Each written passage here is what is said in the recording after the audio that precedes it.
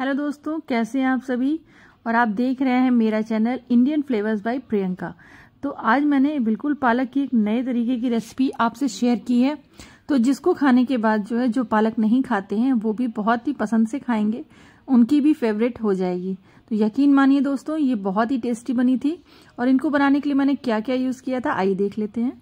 यहाँ मैंने पालक लिया हुआ है, ये देखिए।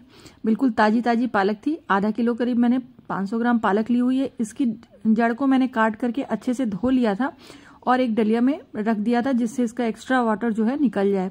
अब मैं इनको बारीक बारीक काट लूँगी। तो दोस्तों, यहाँ पर मैं बता दूँ कि अगर मेरी रेसिपी आपको जरा भी पसंद आएगी तो लाइक शेयर कमेंट करना नहीं भूलिएगा। सब्सक्राइब ज़रूर से कर लीजिएगा दोस्तों। तो पालक को बहुत से लोग जो हैं, पहले काट लेते हैं, फिर धोते हैं। यहाँ पर मैंने पहले इसको धो लिया है अच्छे से। इसके बाद मैं इसको कट कर रही हूँ। बारीक बारीक सा कट करेंगे। आपसे जैसा हो पाता है, वैसा ही कट करिएगा। इसके लिए परेशान नहीं होइएगा कि बिल्कुल बारीक कट करना है। तो देखिए, मैंने इस तरह से इसको कट कर लिया है। सभी को कट कर लेंगे। यहाँ पर एक मसाला तैयार करेंगे। इसके लिए मैंने एक पैन में मूंगफली ले ली है। लगभग दो चम्मच मूंगफली है और दो ही चम्मच करीब मैंने बेसन ले लिया है। इसको धीमी आँच पे भून करके दरदरा सा पेस्ट बना लेंगे। अब यहाँ पर कढ़ाई में मैंने तीन चार जो है लहसुन लिए हैं, एक लाल मिर्च है और थोड़ा सा मेथी का दाना डाल करके, सारे पालक जो मैंने धो करके रखे हुए थे, काट करके, उसको मैंने इसमें डाल दिया है। थोड़ा सा भूनने के बाद, अब इसमें मैं नमक मिलाऊँगी। नमक जो है हल्का रखिएगा, क्योंकि पालक में खुद का एक अपना नमक होता है।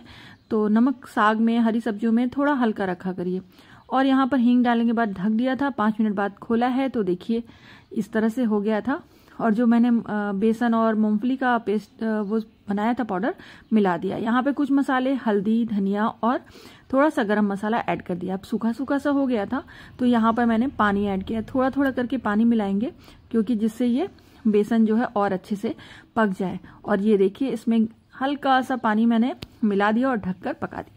साइड में मैं एक तड़का तैयार कर रही हूँ, जिसमें मैंने सात आठ लहसुन की कलियाँ ली हैं। ये लहसुन या पालक है तो लहसुन थोड़ा ज़्यादा यूज़ करेंगे। तो यहाँ पर लहसुन और हरी मिर्च का मैंने तड़का दे दिया है।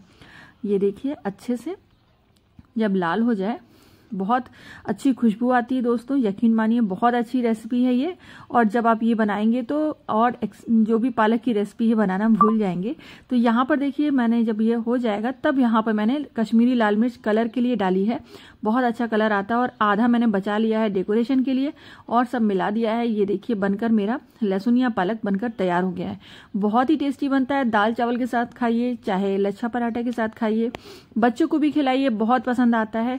बिल्कुल जो लोग हरी सब्ज़ी खाना पसंद नहीं करते, वो भी खाने लगेंगे। तो यहाँ पर मैं इसको इस तरह से सर्व कर रही हूँ, देखिए। और बहुत ही टेस्टी बना था। मेरे बच्चों को भी बहुत पसंद आया था, जो कि हरी सब्ज़ी खाना पसंद नहीं करते बच्चे, सबकी क्या ऐसा होता है। तो ये देखिए, मैंने ऊपर से जो एक्स्ट्रा बचा के रखा था तड़के का